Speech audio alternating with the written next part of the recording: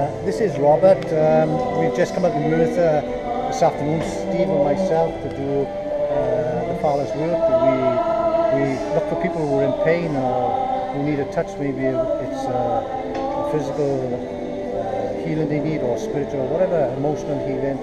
And um, we approached uh, Rob by here this afternoon and uh, we asked him if he had any pain at all in his, in his body. And um, Rob, could you just share what uh, what has happened this afternoon? Well, bit from the beginning, starting in the beginning. I've been in pain, my back, and been lorry driving all my life, lifting heavy furniture and other things, and I've just been in pain all the time.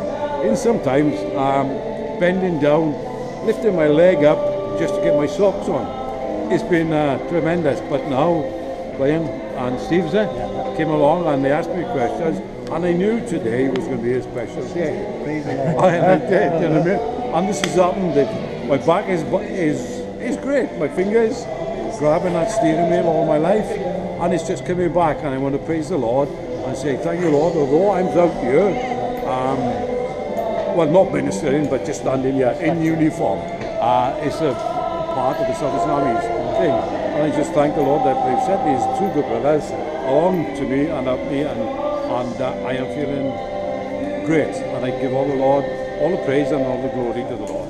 And I say thank you Lord. That's right. You yeah. give all the praise and glory yeah. to, to yeah. the Lord. We just uh, thank you for Rob and it's been a real privilege and ple pleasure to uh, pray for him.